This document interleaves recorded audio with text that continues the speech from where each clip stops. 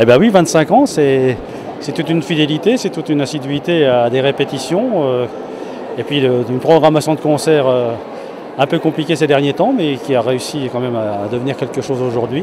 Une programmation, euh, un spectacle ambitieux. Au programme ambitieux, mais qui reprenait pas mal de, de pièces du, du répertoire des deux chorales qu'on a mixé et qu'on a travaillé pendant un an et demi. Je pense que bon, on a réussi à faire quelque chose de bien en commun. Maintenant, il y, y a des choses qui sont perfectibles, comme tout le temps. Oui, euh, un, bel ensemble instrumental qu'on a réuni pour l'occasion, des gens qui ne se connaissaient pas, euh, qu'on a réussi à faire travailler ensemble et qui, qui- qui vraiment avaient beaucoup d'enthousiasme à, à nous accompagner. C'était très bien. Bah, le prochain rendez-vous ici dans l'abbatiale, c'est dans 5 ans. Mais on aura d'autres rendez-vous avant, puisqu'on se retrouvera le dernier dimanche de décembre pour un concert de Noël. Le dimanche qui précède Noël.